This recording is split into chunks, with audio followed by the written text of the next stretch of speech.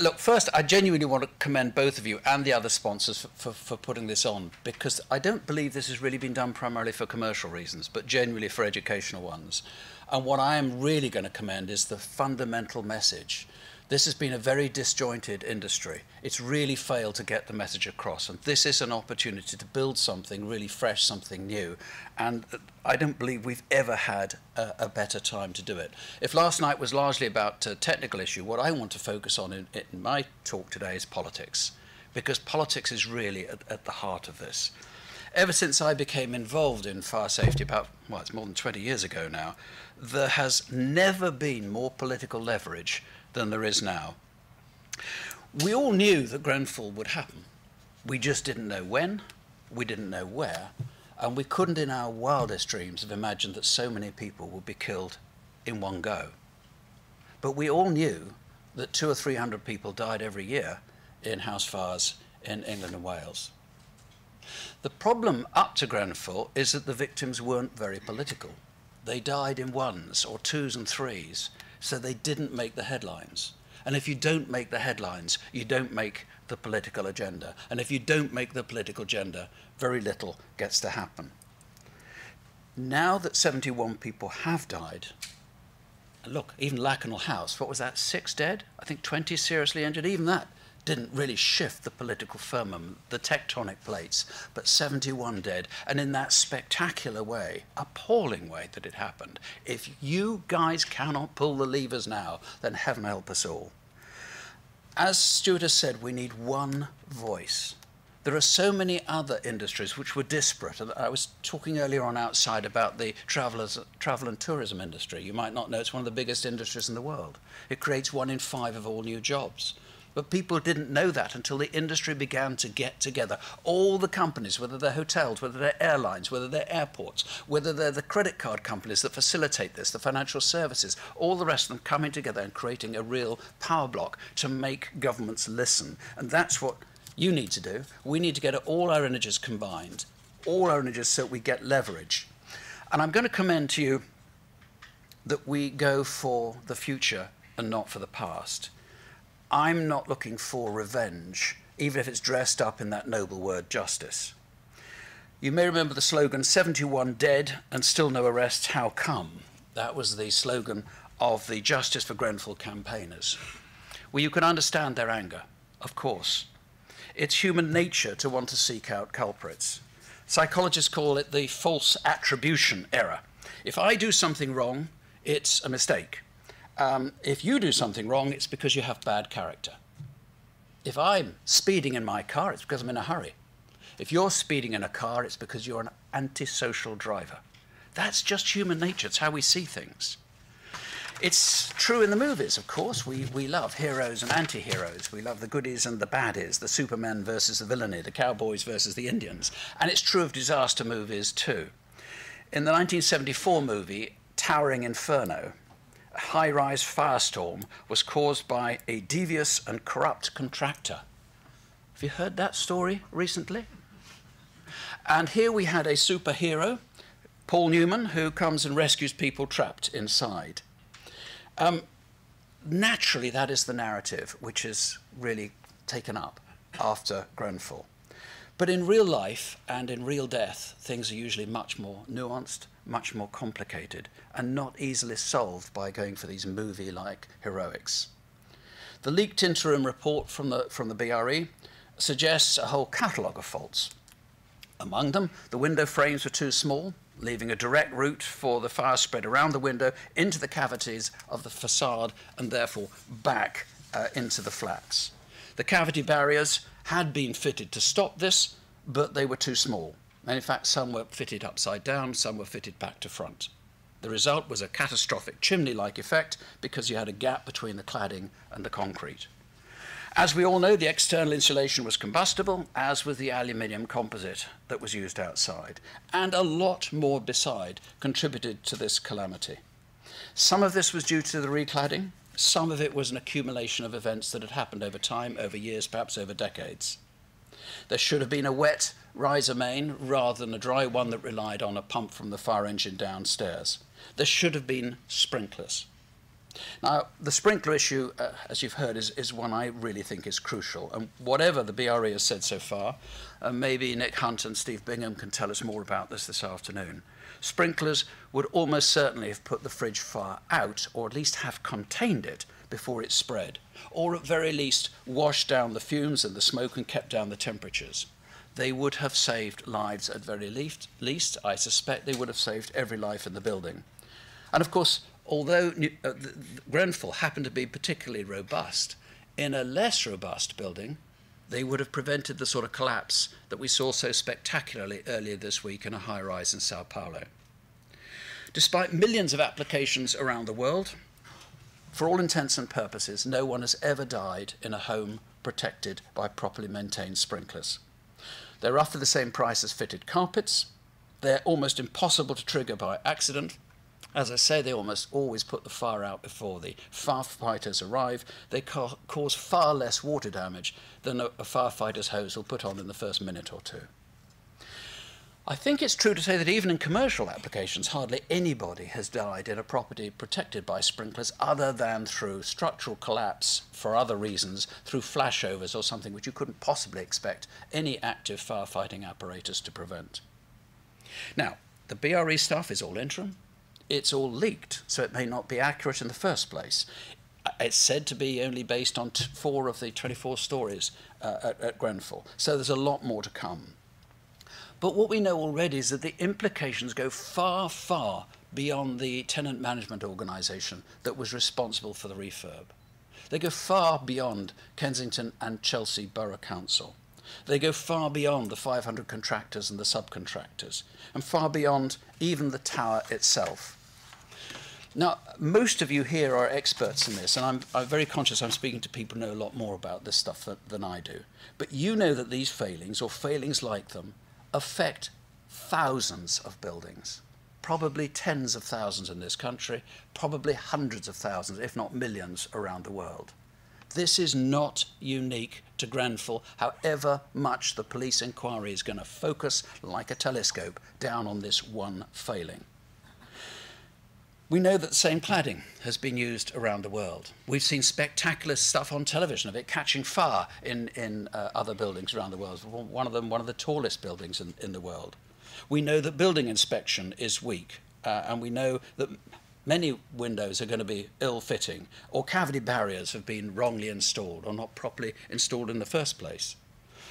We know the local Tory council has been vilified, and I have absolutely no reason to want to defend them. But a couple across, uh, miles across London, there, but for the grace of God, goes a Labour borough, the London Borough of Camden. Five tower blocks, as you know, in the Chalcots estate had to be evacuated and refurbished because, guess what?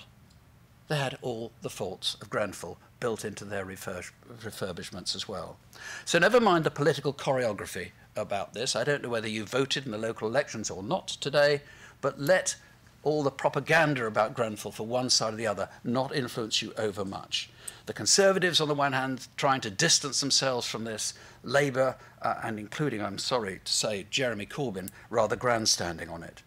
Grenfell is an issue where politics and politicians failed across the spectrum, and it's a national, not a local, shame and embarrassment. Long before the uh, hip hop artist Stormzy or the Oscar winning actress Frances McDormand became late converts to the cause of fire safety, it was almost impossible to get fire safety high on the national agenda. And the reason was a rather natural complacency. As you all know, fire deaths have been falling for decades uh, across the United Kingdom. We had fewer chip pans, fewer cigarettes, fewer oil stoves, fewer open fireplaces, better electrical safety, better uh, uh, furnishing which was more fire resistant and fewer fires had broken out. And with smoke detectors, more people had been alerted in time to escape. And the figures of that decline in, in mortality is abso uh, are absolutely stunning.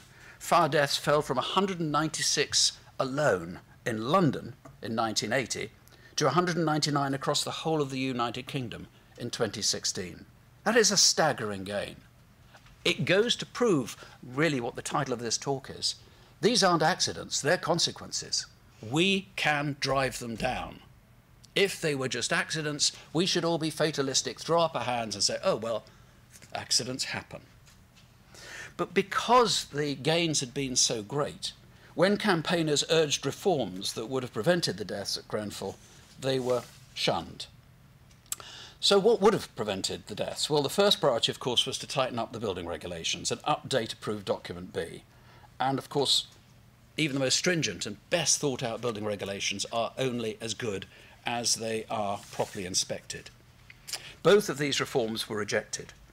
We came up against a wall of ideology, a fashionable consensus against what was described and still is often described as some people by as red tape. I loathe that pejorative way of talking about making sure society is properly regulated. It was the same doctrinaire rejection of so-called nanny state that led to the banking crisis. Remember that? Remember the removal of restrictions about lending to subprime mortgages? Remember governments turning a blind eye to the banks as they took on more and more complex transactions like securitization that bypassed the, the, the regulatory structures? In the spirit of the age, it was known as light touch regulation. And look where that got us. And it wasn't just Reagan and Thatcher. It was Clinton, it was Gordon Brown. It was a fashion. And in financial services, it caused a conflagration that was global. The same approach was, approach, uh, was applied to fire protection. Red tape was said to be, and I quote, choking Britain. And I'm sure no irony was intended. It was the same for active fire protection, sprinklers. Again and again, year after year, I went to see the fire minister, and they came in and went and came in and went. What was that phrase? Here today, gone tomorrow. Pressing for mandatory sprinklers in all social housing and in care homes. And again and again, regardless of whether the minister was Tory, Labour, or coalition, I was sent away with, my, with a flea in my ear telling me it wasn't worth the candle It wasn't just me. I went with fire experts. I could understand how one Tory minister said, What on earth does a broadcaster think he's doing coming in here telling me what to do? But I went with fire chiefs. I went with people like you who knew what they were doing. In 2011, Wales became the first country in the world to mandate sprinklers for all new homes, and in Scotland, as you know, they're compulsory in all new care homes, sheltered housing, schools, and high rise flats. But England still disdains sprinklers on the grounds they'd impose an unnecessary burden on uh, homeowners and on social landlords. So, this is not an accident, this is a consequence. Now, if that's a designed consequence, and ministers say, yep, two, three hundred a year on average, that's fine with me. Fine. Be honest about it. It may well be that that is an equation that, in the scheme of things, given the tight finances, given you want more houses, is acceptable. But don't pretend you are not involved in the equation. Don't just look for contractors, subcontractors, and other people right down the line to blame when the blame goes all the way to the top, or at least the responsibility. I'm not too keen on blame. I think the story of Grenfell gets darker still because these Labour and Conservative politicians were all acting on advice. And that advice came from fire chiefs. I've been working with fire chiefs on fire safety for two decades, and uh, a handful of them persuaded me to take up the cause in the, fire, uh, in the first place. Many of them have been vigorous campaigners ever since. And given the extraordinary endurance and bravery of firefighters of all ranks, it doesn't come easily to criticise firefighters in any capacity at all. They are the real Paul Newmans. They do this stuff for real, not just on, on celluloid. So um, I say this, and this is the second time I've, I've mentioned this. I said this at a fire summit a few months ago. I say this with a heavy heart, but I think it would be wrong to conceal it. Where were Britain's most senior fire officers when building regulations were allowed to go year after year after year without being updated?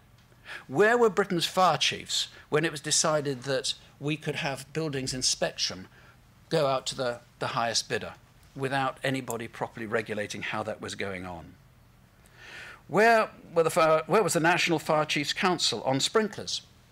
Apart from that weasel expression that they use, sprinklers may have some use in an overall fire safety strategy. I mean, come on.